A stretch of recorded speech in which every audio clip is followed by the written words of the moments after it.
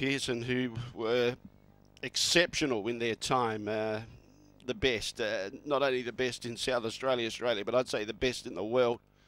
And we've been very lucky over the years to have some great clerks of the course here in South Australia. And uh, Dick set up that legacy with uh, Michael and Stephen Pearson over the years, and uh, they perform with great credit and respect. And our respect is here for Dick White, for the Dick White Memorial. Set to go.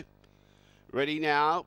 Full of fizz back a bit on the inside. Swaffham Success looks like it'll get past it, but she's galloped it now. Steve takes the uh, lead easily with Winsome Ruby. She goes across and finds the front. Fairy Tale Hall out wide. Uh, Bacardi Bindi's going forward to go up and challenge for the lead. Fairy Tale Hall's going to slot behind those still trotting in the early stages. Those two out wide, Bacardi Bindi and Fairy Tale Hall. Full of Fizz is able to get on the leaders back. Behind those was our Spitfire. A margin then of around about 15 metres away behind those was Liberty Song. And after making a mistake, Swaffham Success, she's now 1,000 to 1. She's about 20 metres away, and that's probably unders. Here they come in the front straight, and Winsome Ruby leads away in the Dick White Memorial. She leads by three metres. Bacardi Bindi outside the leader, full of fizz on the inside, follows the leader. And Fairy Tale Hall's doing everything right, so she's dangerous. She's in the one out, one back position. She's there for the late mail followers, and if she trots, she'll be mighty hard to beat. On the inside, our Spitfire. Tacking on now is Liberty Song, and still around about, uh, let's see, about uh, 10 metres away then to Swaffham Success. Down the back straight they go, and Winsome Ruby out in front by three metres. Lead time covered in 45.6. She's always hard to catch out in front. Bacardi Bindi facing the breeze. A little bit of a task over the 2200, especially with Winsome in front, and more in particular, Fairy Tale Hall sitting on her back in the one out, one back. Full of Fizz in a nice position. She's trotting well. Brett Lowe's done a great job to turn her around trotting wise, and she's doing everything right following the leader. Then in turn behind those was our Spitfire. Then we've got behind those in second last placing was Liberty Song, and Swaffham Success is at the tail end of the field. Coming into the front straight now, they'll get the siren on this occasion.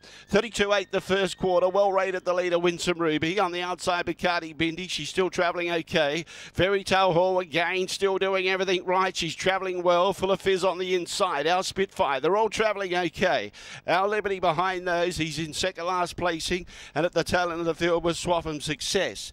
Around the bend they go. That's Liberty Song, that one. In the meantime, they've got 600 metres to travel. 30.9 that second section. That's 63.7 for the half. And now he starts to tickle up the leader, Winsome Ruby. Bacardi Bindi. Fairy Tale Hall yet to pull wide. On the inside, full of fizz. Our Spitfire behind those. And behind those also was Liberty Song. There your chances. He's no chance now because he galloped. Winsome Ruby in front leads. But now Bacardi Bindi puts the acid test to it. Around the outside, trying to make ground was Fairy Tale Hall. She's still trotting, but trotting roughly. Full of fizz went between runners. Our Spitfire right on the leader's back, looking to get out. Danny pokes a nose in front with Bacardi Bindi. Winsome Ruby's kicking back. Fairy Tale Hall down the outside. Three-way go. Galloping Fairy Tale Hall. Our Spitfire gets out late. Winsome Ruby, Bacardi Bindi. Winsome Ruby leads all the way. Stephen Grace does it. Second, Bacardi Bindi. Third was our Spitfire. Fourth placing looked maybe full of fizz just in front of Fairy Tale Hall, who galloped again over the concluding stages.